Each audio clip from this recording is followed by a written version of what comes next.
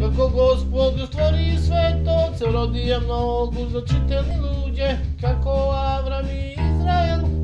Тие беа синови Божи, и како Мојсија го изведи својот народ од робство, тешко робство, родија многу помни цареви, многу цареви, многу пророци. На светот поубаво живе, царта се грижат по старите, че тој им надежи верба во подобра иднина, како Исус. Христос направи нова вера на овој свет, вера во Отец, Син и Свет Дух, то тројство на еден Бог, пред како свети. Петар стана пред папа, свети Павле ја расшири неја, еве верава до дене живе, како ви брои на овој свет.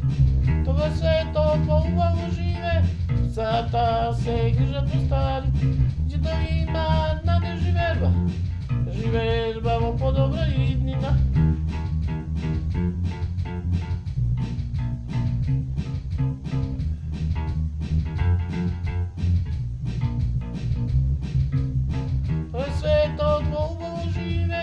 децата се грижат по стари, што имаат надежи верба, надежи верба во подобра иднина.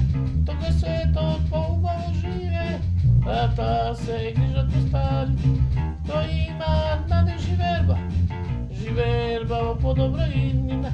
Како Господ го створи светот, родија многу значителни луѓе, како